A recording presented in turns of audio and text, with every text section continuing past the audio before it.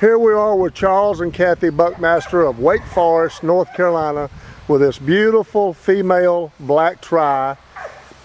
This is a beautiful black tri puppy that was born on June the 4th, 2013, and what beautiful markings this beautiful puppy has.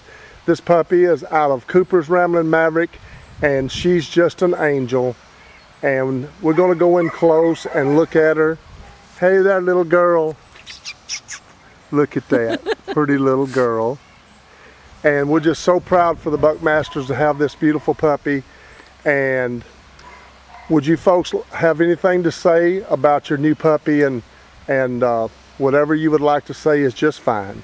Well, we have really enjoyed working with you and Linda Jean.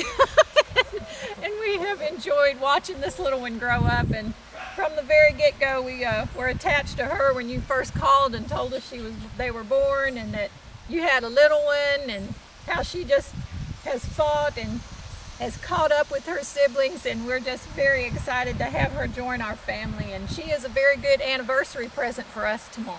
So. Well, we're, we're glad for you folks to have her and, and uh, we're going to miss her, but she's going to a wonderful home and uh, she's just a beautiful puppy and she's got such loving temperament. And I, I knew this from the very get-go when she was born, she was going to be pretty like this.